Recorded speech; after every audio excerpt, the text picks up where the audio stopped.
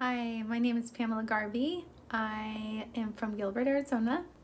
My major is professional studies. I am doing hospitality and tourism management, graphic design, and um, social media marketing. Uh, and I just finished that one.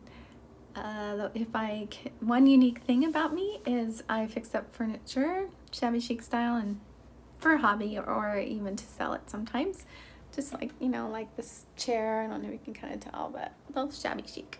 Anyways um, so I kind of do that and go to school.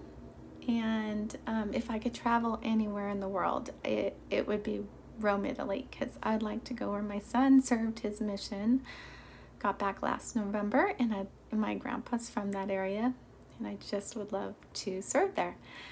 Uh, and, what I would like to learn from this class is, um, which this is like my second class in um, hospitality and tourism, um, I would like to learn about event planning because that's what I kind of want to do and um, just learn more about working with a team. I think that's great and just learn about hotels, and about event planning and things like that. So, all right, and that is it. Talk to you later. Bye.